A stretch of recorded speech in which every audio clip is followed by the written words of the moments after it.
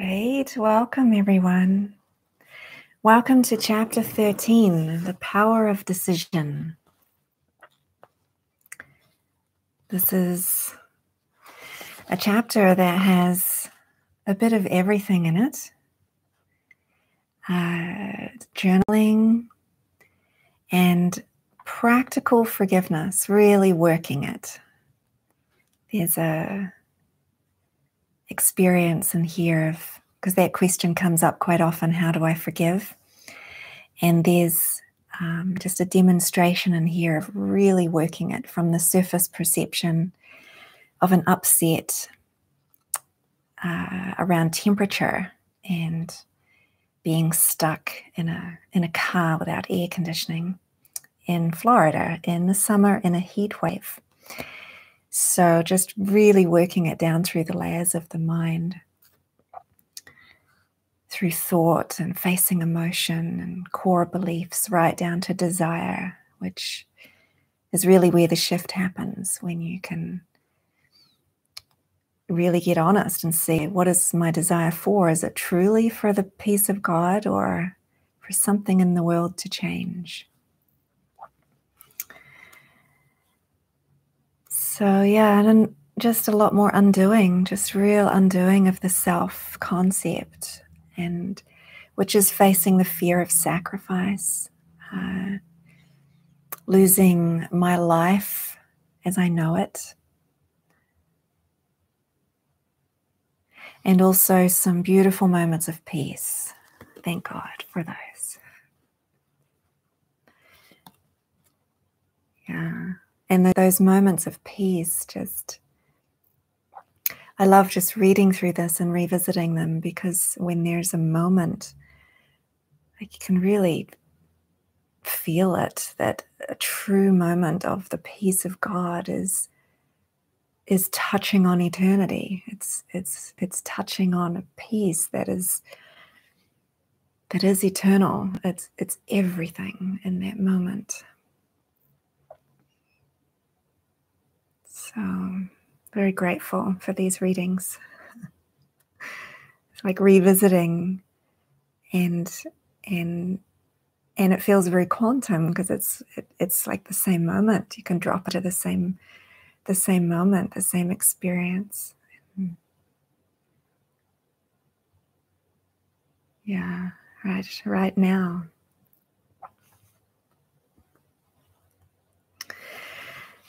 Okay, so we'll just take a moment of just to drop into stillness and then we'll begin the reading.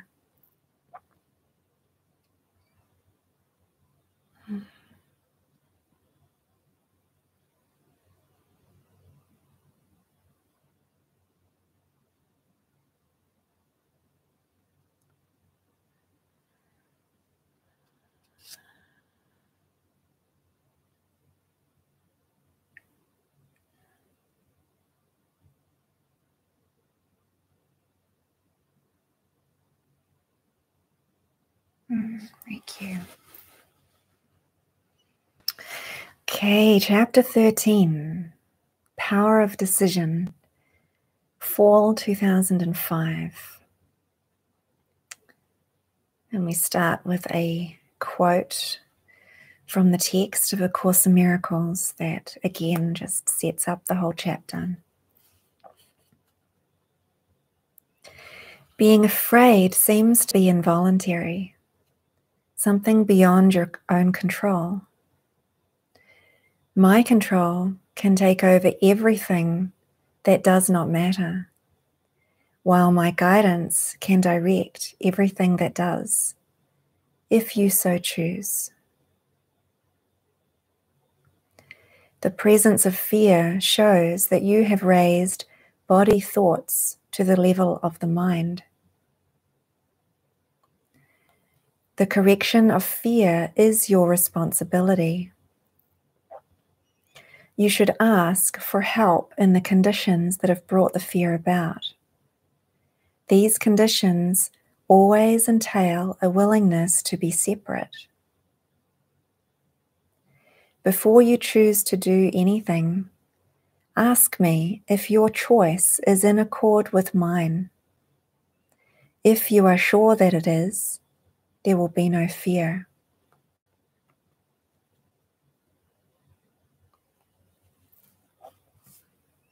Drop it. The following discussion was with the Holy Spirit as I sat in the car with David en route to our next destination. I felt slightly grumpy because I'd experienced full on dreams all night and I'd not had time for my morning journaling. It seemed like I'd missed out, and I didn't want to read and write in the car. Journaling. Kirsten. Good morning, Holy Spirit. What can you tell me about my mood? Holy Spirit, drop it. Kirsten, okay. Anything else? A smile spread across my face. Holy Spirit, have a wonderful day. My day was wonderful. It was full of laughter and experiences of oneness. The ego is laughable and should never, under any circumstances, be taken seriously.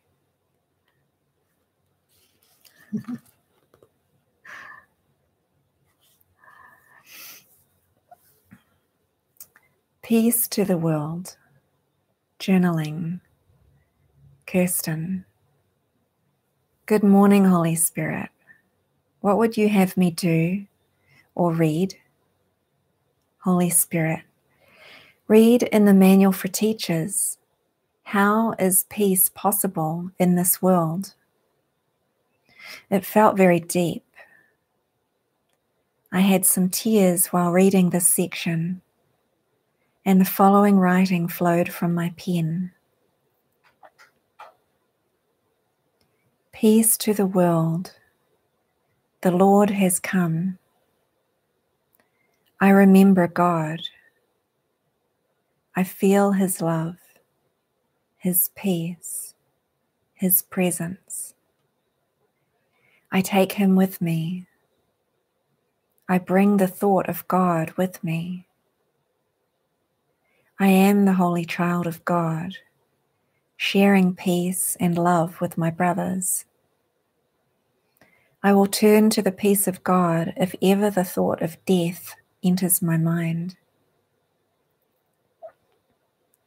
Heaven is brought to earth by my remembrance of God. The thought of God is peace. I am the thought of God. Therefore, I am peace eternal, and I bring heaven to earth by my very presence. I choose only love. I choose only peace. I choose to hear God's voice and therefore to bring heaven to earth.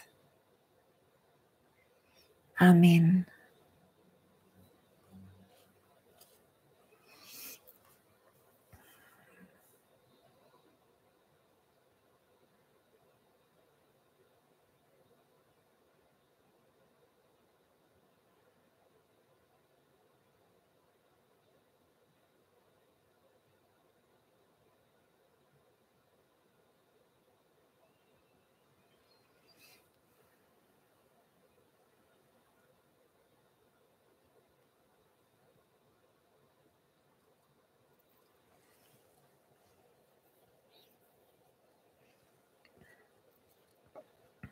Carried in the love of God.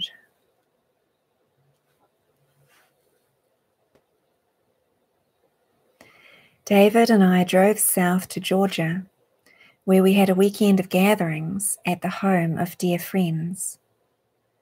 Journaling, Kirsten. Good morning, Holy Spirit. What a wonderful weekend. I felt as if I were floating most of the time. A misty white light embraced everyone and everything, and golden light glowed brightly around the trees, framing the gatherings. When speaking, I had no awareness of myself as a body.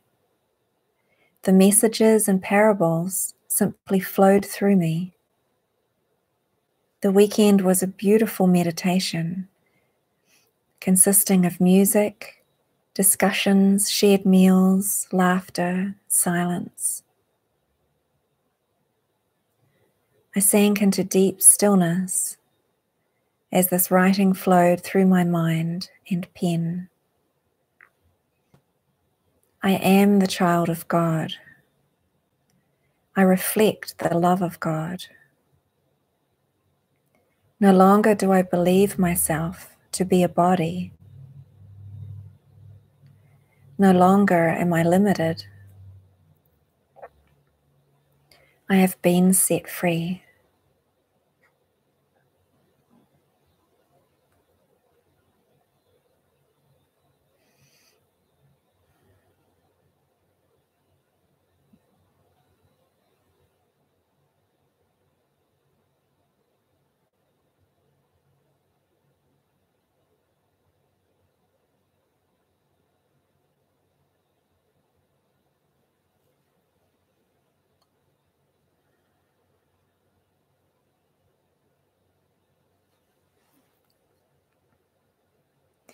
The end of the world. Today, the world ended in my awareness, washed away in the knowledge that the Son of God is innocent. It is that simple. While this realization was coming to me, our host was looking deep into her mind and asking why the world seemed such a painful place to be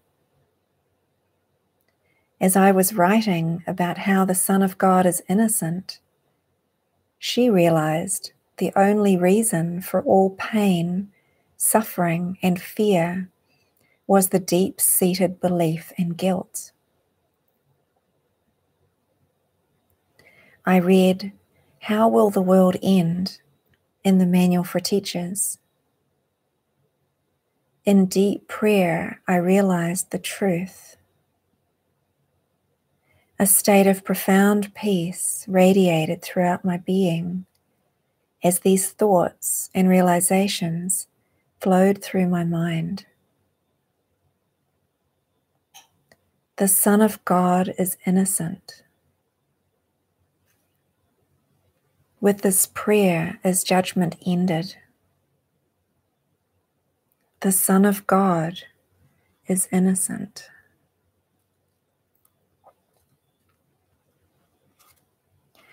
With this statement, the awareness that all things work together for good brings the world to an end. The world is saved from what I believed it to be. Right now, words cannot describe how I feel. The world is over. I have fulfilled my function. My function was forgiveness and the world has been forgiven. The Son of God is innocent. It doesn't matter what seems to play out in the world now. Never again can I be deceived. All of my experience has brought me to this moment, to this awareness. I am blessed.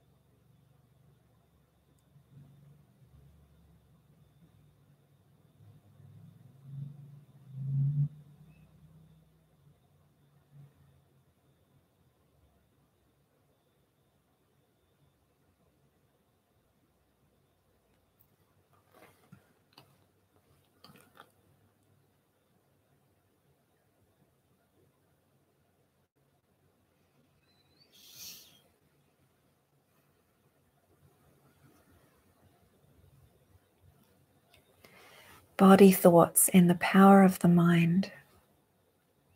Journaling. Kirsten. Good morning, Holy Spirit. I would like another assignment.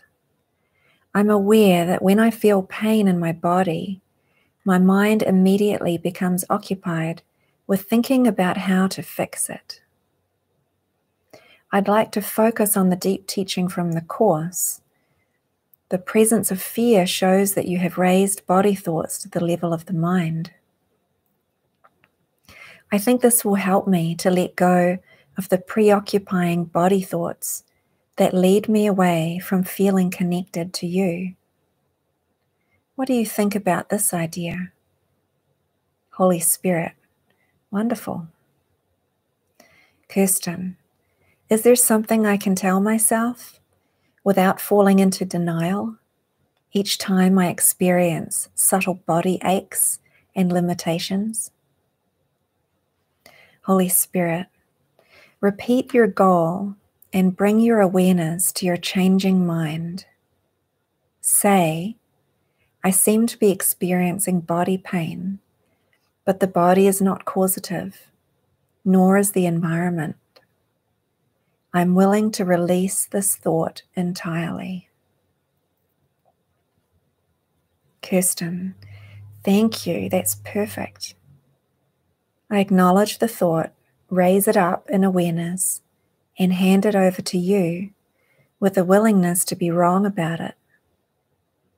This way, I stop drawing conclusions about my body, its limitations, and the effects my actions and circumstances have upon it.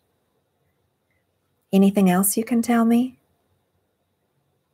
A familiar feeling of stiffness in my neck occurs. Kirsten, okay, Holy Spirit, here it is now. My neck is stiff. And when I go to a chiropractor, the pain seems to be released. I want to go to a chiropractor. I give this to you. I can see that I'm raising body thoughts to the level of mind right now. I went into prayer and could feel that my perception of what causes body pain ran very, very deep. I am a body, and my neck is stiff, and it is affecting me. I cannot be at peace like this, were my thoughts. I could see that I had been holding on to conclusions about what causes body pain and how it could be healed, proving over and over to myself that body thoughts were real. Kirsten, wow, so I'm guessing that I will be free of body limitations entirely by practicing this. Holy Spirit, it's all thought. The body is a thought. Pain, aches, muscles, reasons for pain, etc., are all thoughts. The entire world and cosmos consists of layer upon layer of thoughts. By releasing the chain of thoughts, you are freeing the mind to be in the present moment. The body can then be perceived as a temporary, holy home for the Son of God and no longer a prison in which you feel trapped. Free your mind, cut the strings. You are not a puppet at the mercy of the body. You are spirit, divine mind. You've been deciding upon your goal and then setting about achieving it. When you notice that the goal no longer serves you, such as when you are experiencing body pain, you change your goal. You have many goals that are not in alignment with divine mind. And as you bring them to me with the readiness and willingness to release them, you will free yourself of the belief that you are not free. Kirsten, I feel really excited about this. Holy Spirit, wonderful.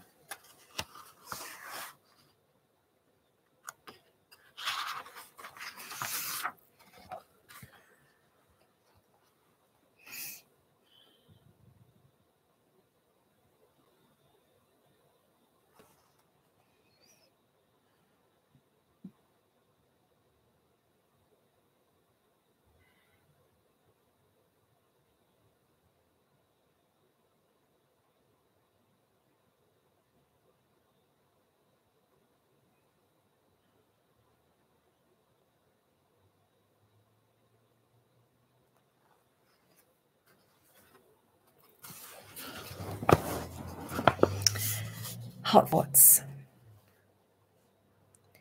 David and I drove south towards Florida, where a very excited group of friends had arranged a series of 10 gatherings at various unity churches and course groups. As we entered the state of Florida, the air conditioning in our car broke. I asked David if we would get it fixed and he said that it could be expensive. So we would wait to see if an air conditioning shop presented itself in a clear and obvious way. Attack thoughts and feelings of grievance ran through my mind. Why can't we get it fixed immediately? David isn't with me in this. I don't agree with waiting to see if getting it fixed is obvious. I need air conditioning. Why am I in this country? New Zealand is nothing like this. David is tight with money. I would just get it fixed. I attempted to forgive the thoughts and feelings of discomfort by silently giving them over to the Holy Spirit.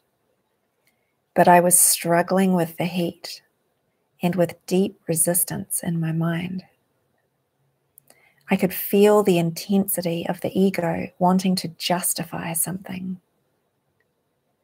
As the traffic grew heavier, I could feel that more than wanting to let go of the attack thoughts in my mind about the heat, I wanted David to know that I was very uncomfortable and needed the air conditioning fixed. I made a few comments about how hot it was and how there wasn't any breeze at all, and how I hoped that we could get the AC repaired.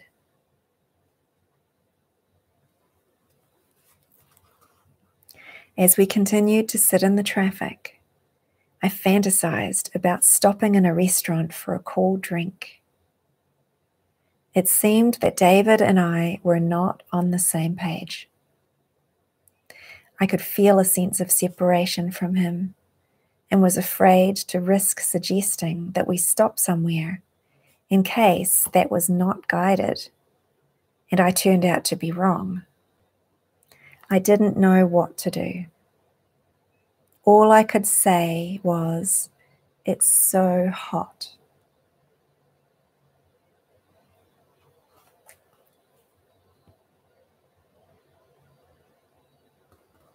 By now, sweat was forming a little pool down my shirt, and, and I had my feet up on the dashboard. In response to my comment about the heat, David looked directly at me with his piercingly bright blue eyes and said, Oh, you're having hot thoughts. My initial inner response was one of disbelief. Oh my God, are you kidding me? Of course I'm having hot thoughts. Who is this man? How could he not be affected by the sweltering heat? He isn't human. Then it clicked. He isn't human. The one who was speaking wasn't coming from a human perspective. Somehow, through my foggy, heat affected, unhappy state of mind, I caught a glimpse of something. a wisp of a distant memory. I could hardly catch hold of it. It was like a thin piece of string blowing in the breeze. I forced or I focused my mind with all of the desire I could muster, turning it away from these grievance thoughts and in the direction of receiving help. The thin string transformed into a rope, and I grabbed hold. I looked past the victimization feelings and closed my eyes.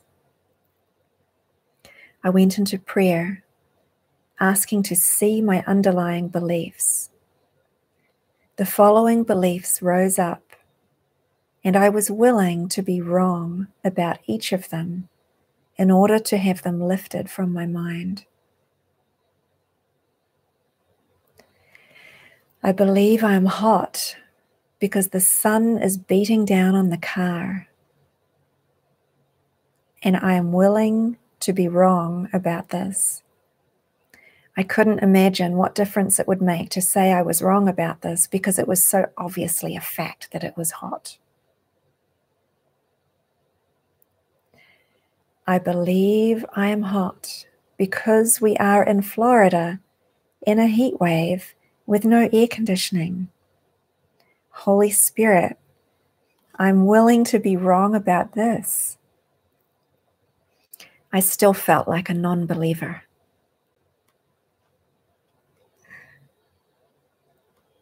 I believe I am hot because sweat is dripping from my body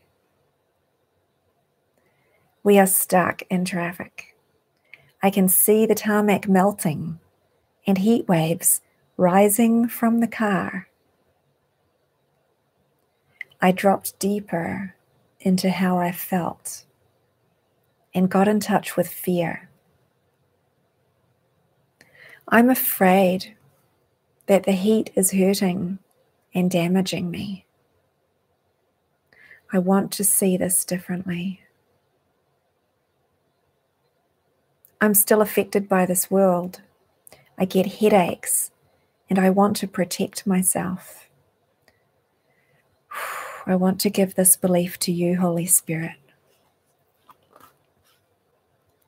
I could feel the tension lifting from my mind. And right as I gave over the last thought to the Holy Spirit, a cool breeze floated in through my open window kissing me on the cheek. I laughed out loud, delighted. A cool breeze, I exclaimed. David, right as I gave over my hot thoughts, a cool breeze came. David was just as delighted as I was. We beamed with joy, reminded yet again of how loved we are and how everything works together for the highest good. To go through the fire in my mind and pop out the other side of such intensity felt huge for me. It was a miracle. Minutes later, the traffic disappeared and we were on the open highway. Windows rolled down and the music turned up. We sang along happily and enjoyed the rest of the drive together.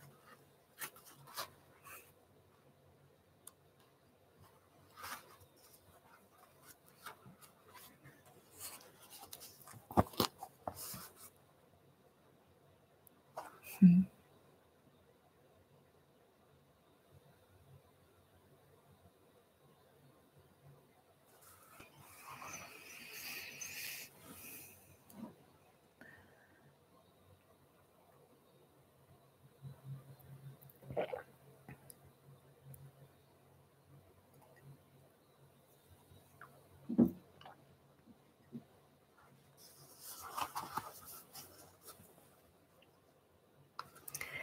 Is this my life? When we arrived at our destination, our excited hosts and organizers greeted us warmly. Although I fell in love with everyone I met, I felt concerned, noticing that the average age was about 75. All of my new friends had white hair and drove slowly. They talked about losing their glasses and running out of time. Thoughts of sacrifice arose. Oh my God, is this my life? Would I ever dance to techno music again? Would I have friends to take long, brisk walks with? It seemed I had no control over my life. Yes, I was willing to give it all over to the Spirit. And actually, I didn't want to go out dancing to techno music, but I did feel the intensity of having a split mind. I hid my unspiritual thoughts. And I found myself secretly praying for people closer to my own age to show up. I went into prayer and released my age related thoughts to the Spirit. I prayed to be shown that age means nothing and that there truly is no sacrifice. I observed David as he tirelessly met with one group of excited Course in Miracles students after another. I noticed that as the youngest member of the group, sometimes by 30 years, it was me who lagged behind. I was the only one disappearing for afternoon naps. David lovingly called our friends elderly beamers, meaning course students over the age of 75 who beamed with light and joy. They no longer felt personally responsible for looking after the world and had no interest in working towards future goals or caring about fashion. They were happy.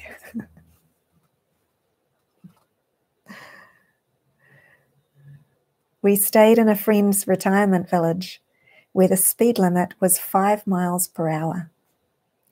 The residents rode around on large tricycles taking gifts of food to one another. By the time we left Florida, I could happily have stayed there forever. mm.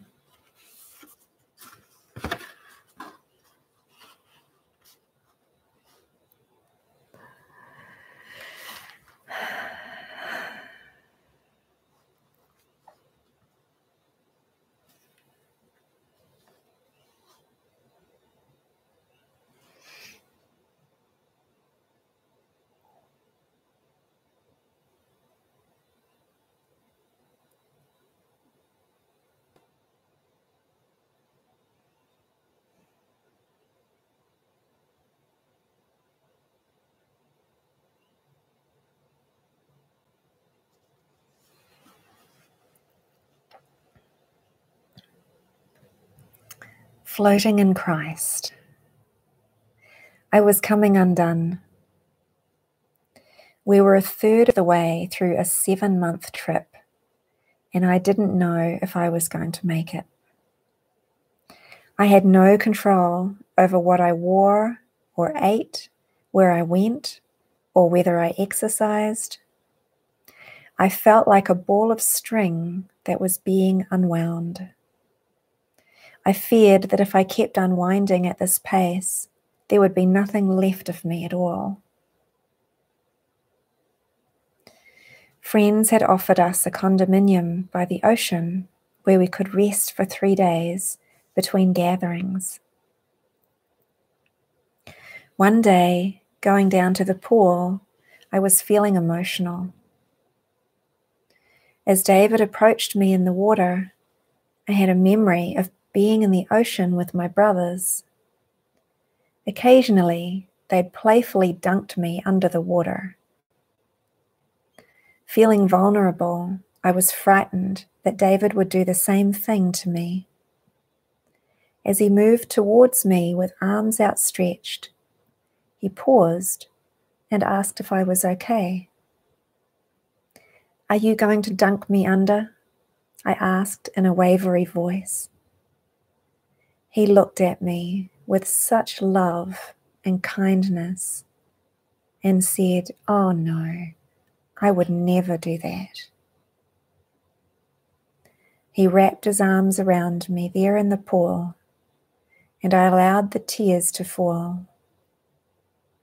I felt held in the arms of God.